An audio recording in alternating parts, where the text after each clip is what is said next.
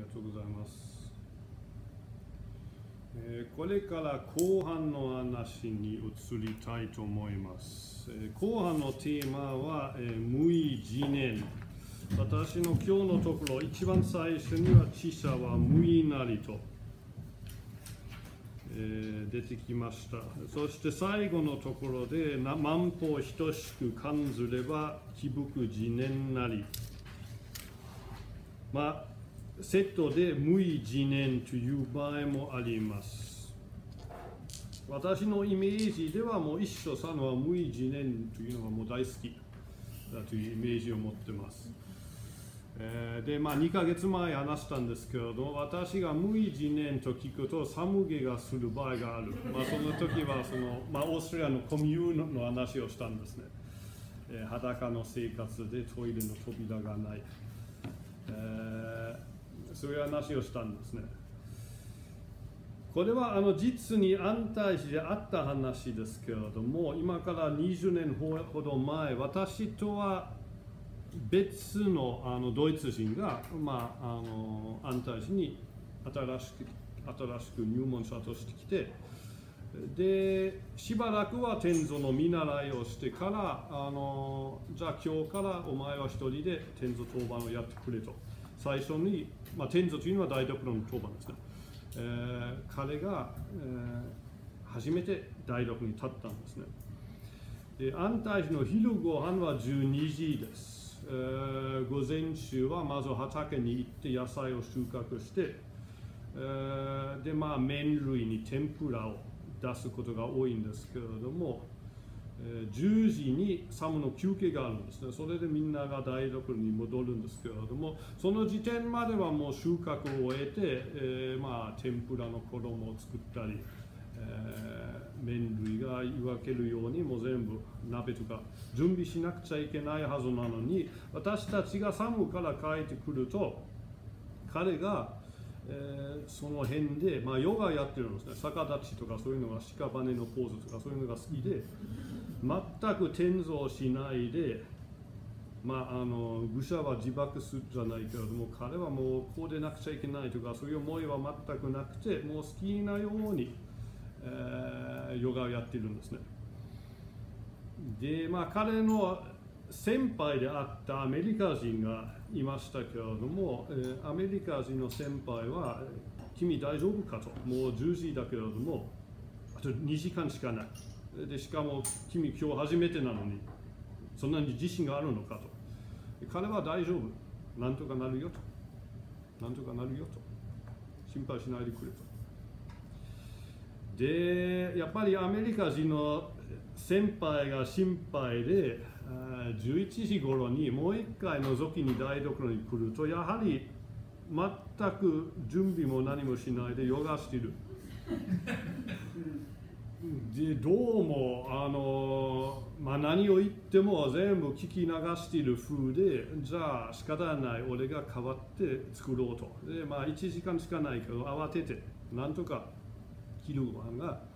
えー、12時に間に合ったんですねでそこであのヨガばっかりやってたドイツ人のデビューの天蔵も一緒に座って食べるんですね。で終わったら先輩が怒ります。もうお前ずっと遊んでて結局俺がお前に代わって料理する羽目になったお前は大丈夫だ大丈夫だ大丈夫だと言ったけれどもなんとかなるとか言ったけれども結局俺が料理してなければみんな食べるものもなかった。現にお前も食ったんじゃないかと。で彼がじゃあなんで怒られてるかわからないと言うんです。だって私大丈夫だと言ったら大丈夫だったんじゃないの12 時に学ようと私は最初から分かってた、まあ、ある意味で、まあ、このアメリカ人も言ったこの人ひょっとして悟っているかも。しれないある意味では悟っているかもしれないもう無意自念で全部があちらの方からもう力をもう入れず心も費やさずして仏の方よりでもそれはまあ10人に1人そういう人がいるとまああの先輩がその人の分までやるとできるけれどもまあ他の9人は迷惑ましてや10人が10人で無意地念をそういうふうに解釈すると困ると私が思うんですね。ですから私がいつもあの、まあ、一生さんと対談したりする時に言うのはその確かに仏の方よりと。この力に気づくことも大事なんだけれどもそのその逆の話おそらく2ヶ月4ヶ月前も同じのを書いたと思うんですけれども仏から来る働きと私が仏に向かうこの2つの力があると思うんですね。仏からいただくあるいは座禅の方から座禅を私がさせていただいている自分の力じゃない。だけどそもそも自分が朝早く起きて座布に座らなければそういうことはできない。やっぱり自分まあ時計で言えば6時から12時までの修行があって12時から6時までの修行させていただくという後押しがあると私が理解しているんですね。で今日はまあこれに関してこの無意自念というとまた消防現像生じのあの力をも入れず心を費やさずしてというともうなんていうかもうリラックスしてきた状態でもうまるでビーチで夏のビーチに寝転んで、まあ、波の音を聞きながらあるいはあのビート板か何かに乗って波に流されるままに流れているようなそういう修行をイメージしますけれどもどうかと、えー、そこでまず消防現像随文記あのウィッキンシュタインの言葉の下に載ってますけれども、えー、味わってもらいたいと思います、えー、示していわくこれはあの随文記は弟子の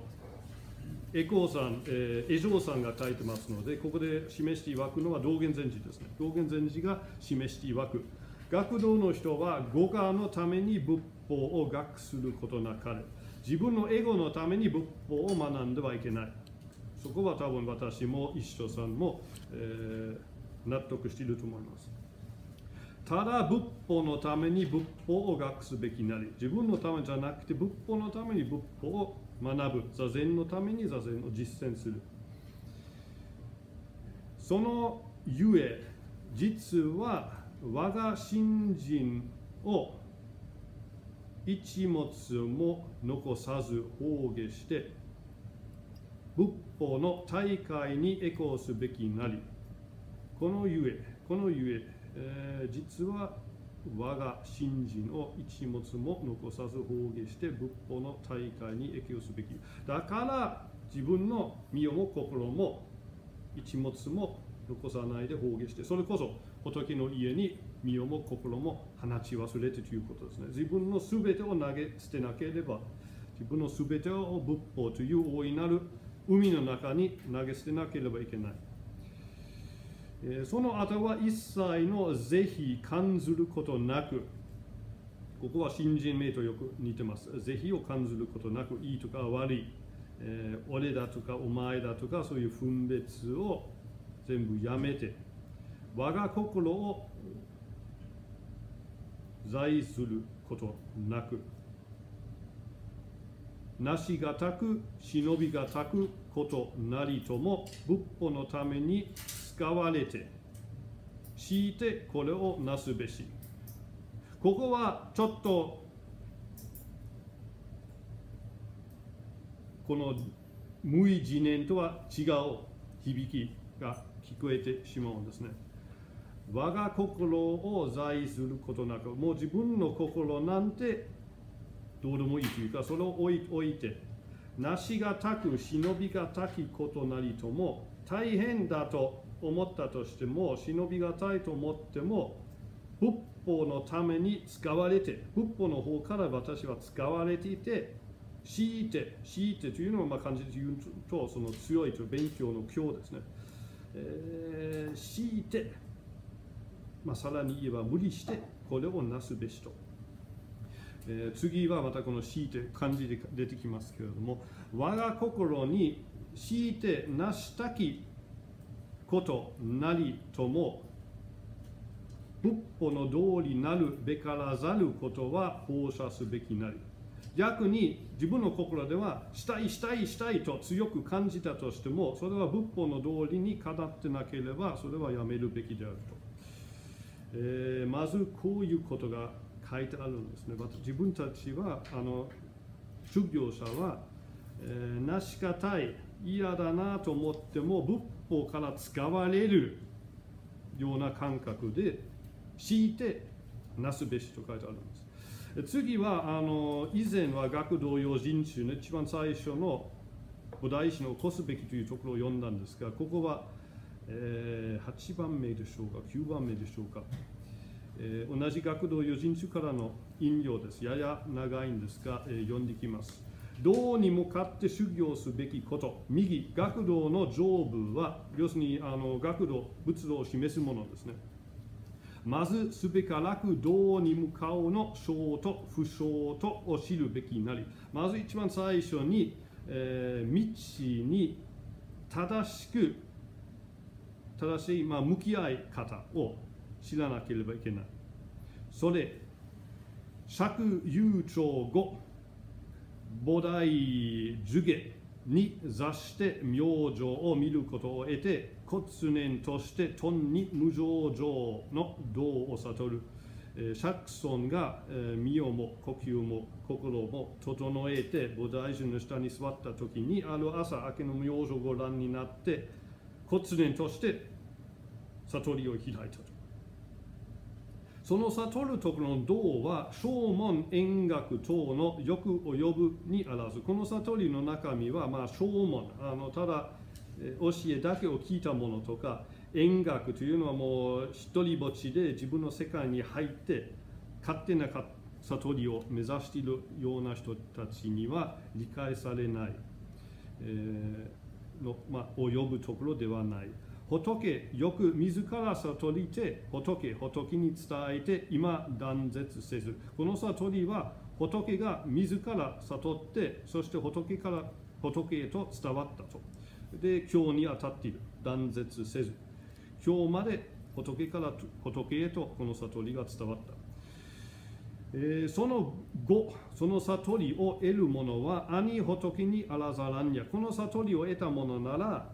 仏でなければ何だという。いわゆる道に向かうとは仏道の外祭を要するなり。えー、道に向かうのにはまず仏道とは何なのか、えー、その、まあ、概要というかそのありようをよく知る必要がある。仏道の様子を諦めるなり、えー、仏道の様子を明らかにしなければいけない。仏道は人人の脚根かなり。仏道とはそもそもお前の足元にあるんだと。おのおのの足元にある。道にえられて当初に明瞭し語にえられて当人炎上する。ここが面白い。そしてなぜここの学童友人帳を引用したかというとまさにこの言葉のためです。道にさえられてそして語にさえられてと出てくるんですね。もう前のところでは仏法に使われてと書いたんですけれどもあの要するに仏道に邪魔される悟りに邪魔されるさえられているという言葉ですね。無意自念といえども、自分の都合のいいように波が自分を運ぶんじゃなくて、全く自分の都合を無視して、波がこっちへ向かっている。向かっている自分を支えていると。えー、この仏道に支えられて、当初に明瞭し、語に支えられて当人炎上する。これによりてたとえ十分の絵を越すといえどもなお一般の語に移るか。これすなわち道に向かうの風量なり。例えば十分に理解したとしてもまだ半分の悟りも得てないという可能性もある。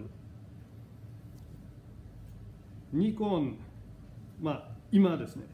学童の人はいまだ道に通則を弁ぜず強いて権限のあらんことを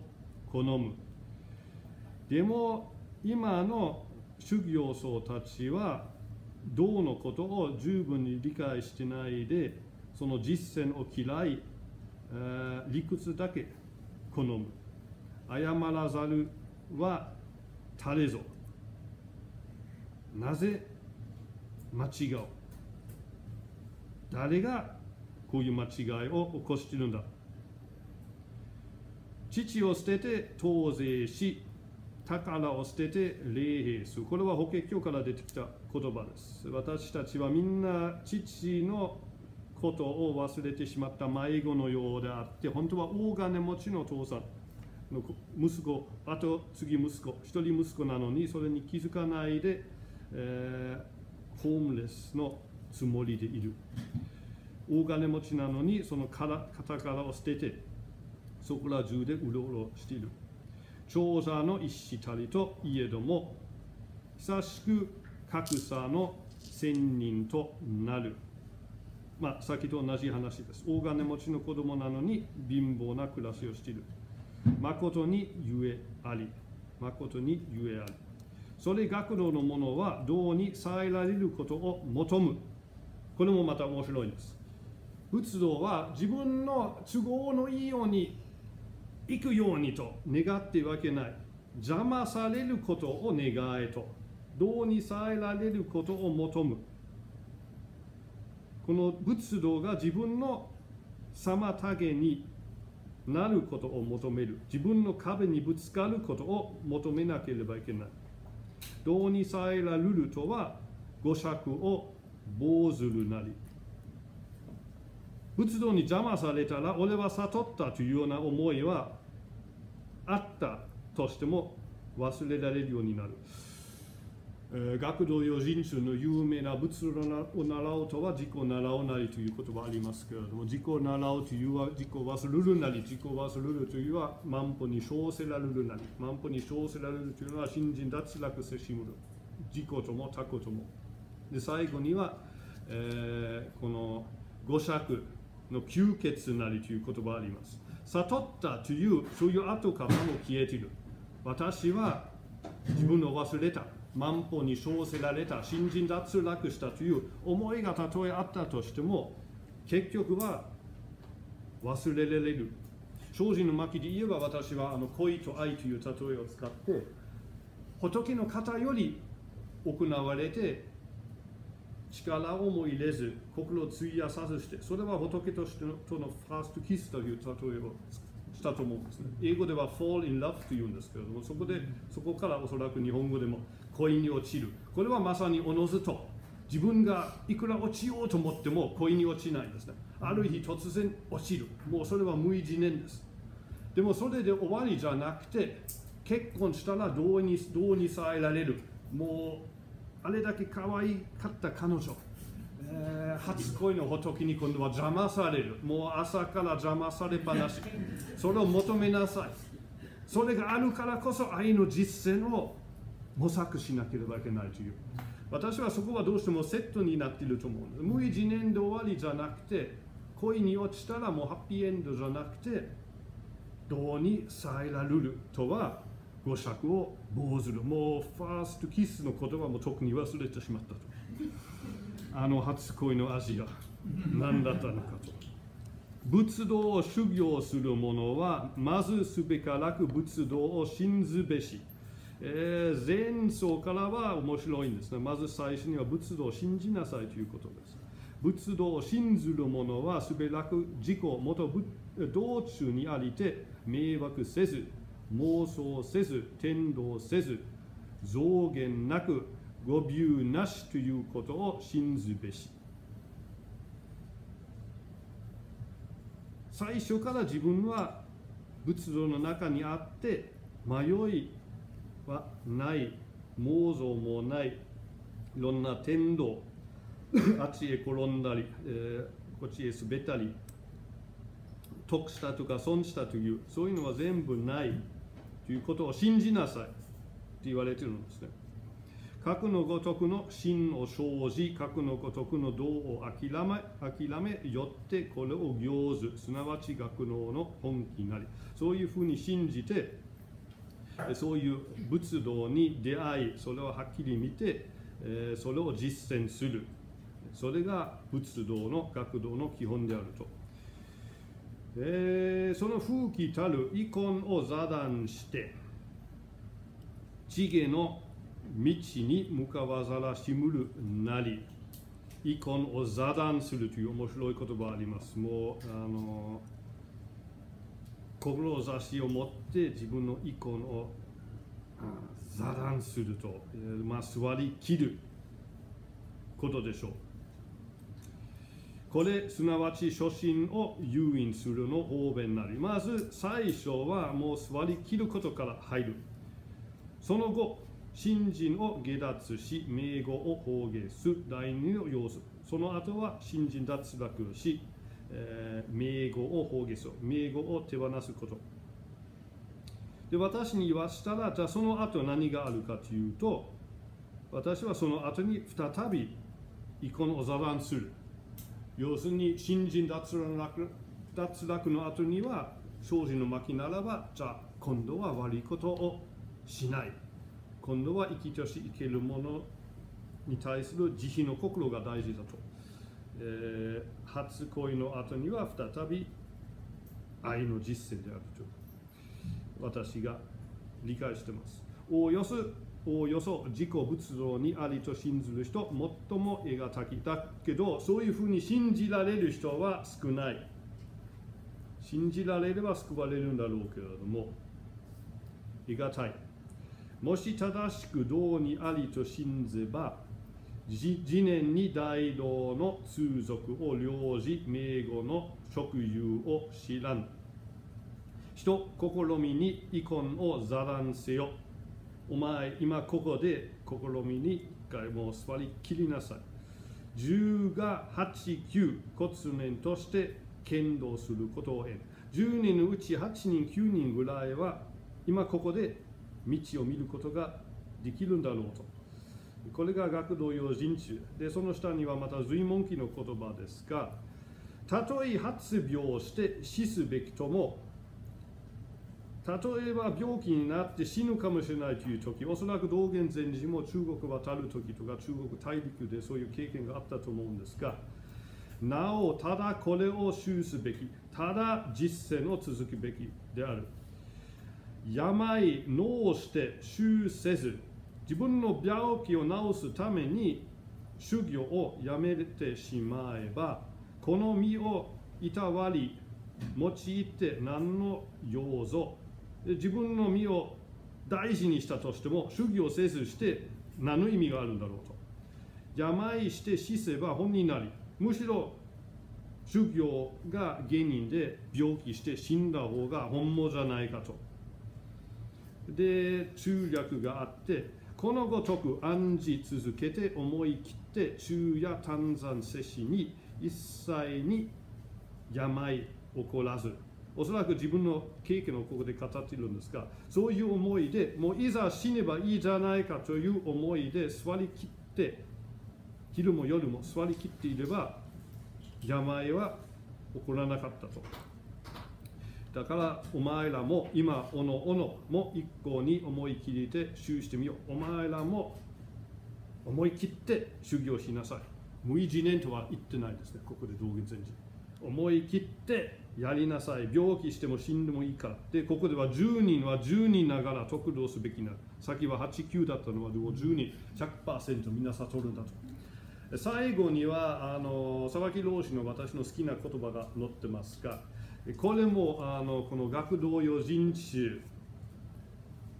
を元ネタにしているんじゃないかと思うんですが座禅に睨まれ座禅に叱られ、座禅に邪魔され、座禅に引きずられながら、泣き泣き暮らすということは、最も幸福なことではないかと。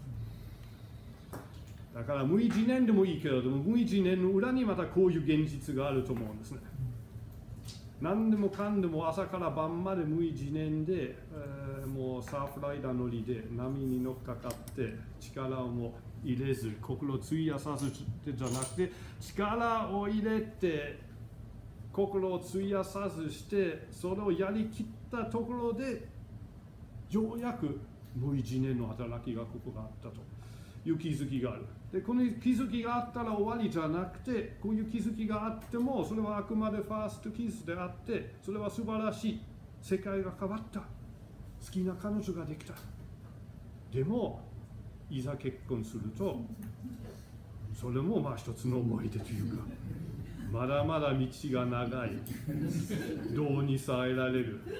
座禅に邪魔され睨まれ妻に邪魔され見まられ泣きなが泣き泣きながら、えー、泣き泣き暮らすということは最も幸福なことではないかと、まあ、そう信じながらそれこそ信じながら、えー、まあ夫婦生活も仏道修行もそこは似てるんじゃないかと思います、えー、いつもそうですけれども私の話がだらだらと長くなって座禅も5分だけしかできなかったんですが皆さん、えー、質問とか気づいたことはいろいろとあるかもしれませんので、えー、どうぞ。まだ少し時間がありますので何でも自由に聞いてください。はい、はい、あの今日いろいろあのお話ありがとうございました。難しいお話だったんですけれども、えー、興味深く聞かせていただきました。あの今の後半のお話の最初のところの随文記の中のですね最後のところに仏法の道理なるべがざることは放射すべきなりとありますけども、ええ、ということは仏法の道理は何かっていうこう見定めるっていうかこれは仏法の道理であるそうではないっていう判断が入るんだろうと思うんですけどそれはいかにしてその見分けるのかっていうことをちょっとあのまあ別に答えがあるわけじゃないのかもしれませんけどもそういうこの文章を読んでそんな気がしたんでどんなふうにお考えになってらっしゃるかなうんおそらく人間誰でもこうしたいんだけれども本当はまあシャーリー氏と漢字さえのやり取りじゃないけれども自分の都合だったらこうしたいけれどもその都合を超えたところから見たらそれは自分の都合でしかない。で自分の中には自分の都合を大事にしたいというものもいればそれを超えたところからそれを見ているものもあるんですね。仏像の通りにかなってないというのはより高いところから見たらあこれは俺の都合でしかない、まあ、どうしても人間ですから自分の都合が一番大事であって下手したらそれだけしか思ってないけれども、同時にかなってないのはそういう自分の都合でしかないものだと思うんですね。だから語が語ががあるという思いが元となって自分の都合が大事だということになって、でもこの語があってそもそも無常であり実体がないということに気づいたら自分の都合なんてどうでもいいということになるわけですね。それがまあだからこそ邪魔される邪魔されるのは何かというと自分の都合が大事だと思っているもう一人の自分ですね。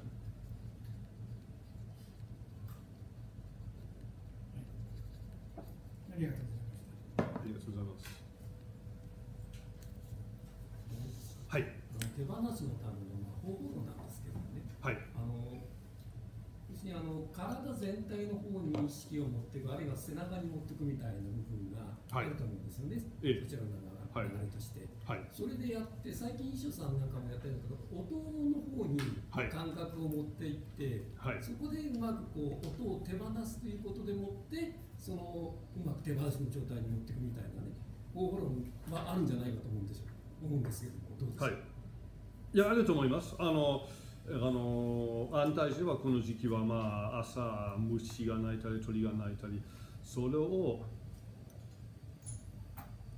まあ、朝4時はもうほとんど静かですけどその次第に大きくなるこのサートを聞き流すというかそれだけに心を持っていくという方法もありますね。あの呼吸だけに持っていくと同じようにその生じては消えるこの音を観察するだけ。でそれは結局雑念も本当はそういう感じで観察できたらいいんですけど雑念の場合はどうしてもそれは自分の中から出てきたものだと思ってそこに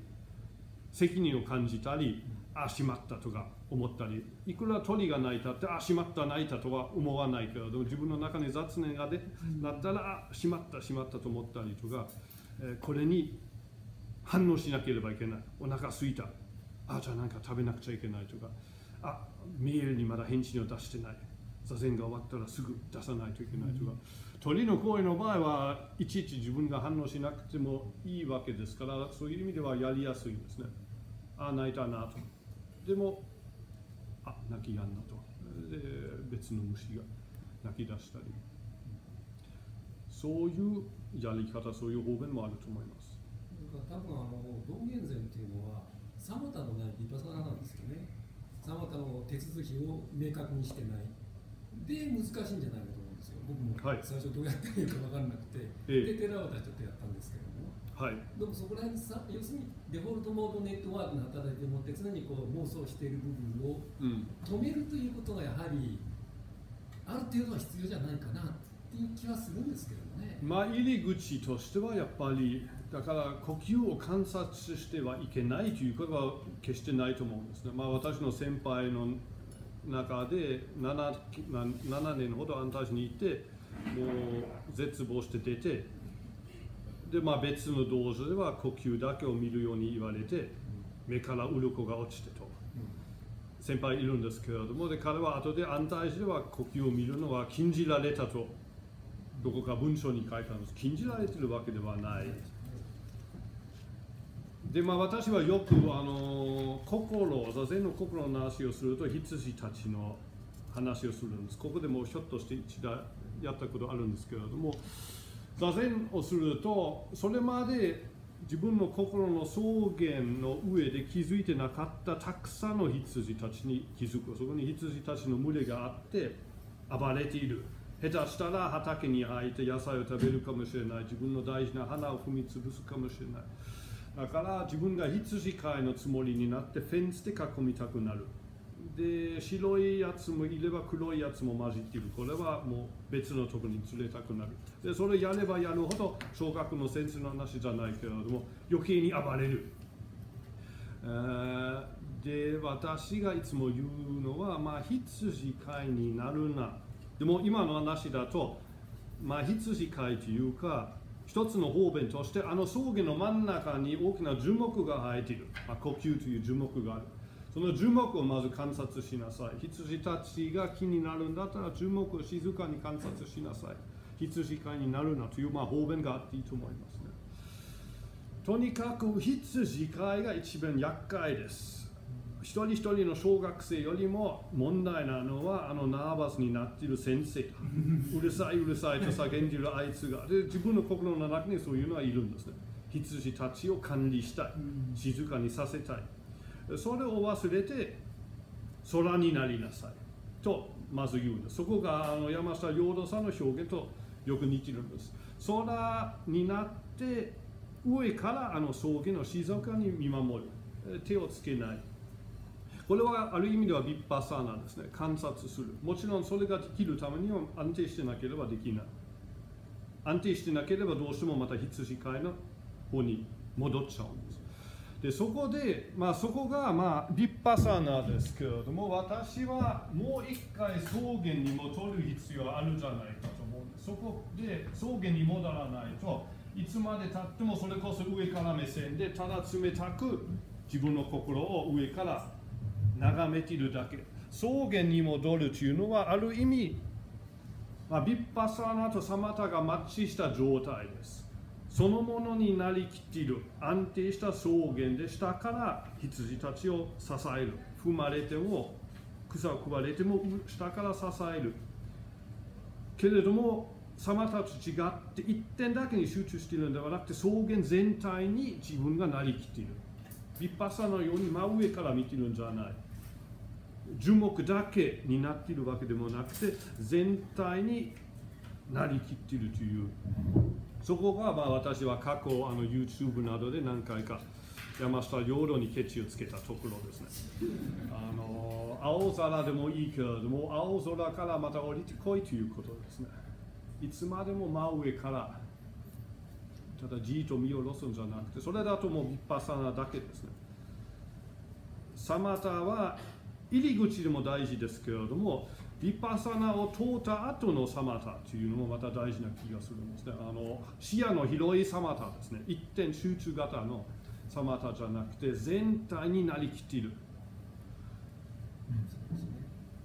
うん、本当のサマーディというのはそっちの方だったんですかねはい。他にご質問とはい。あの今日の話、まあ、非常に高いなと思うんですけどもあの一つはやっぱり考えるっていう、はい、逃げるのだよね分別で、ええ、言葉になればこれも逃げ逃げなんですよねはい。言葉自身が、はい、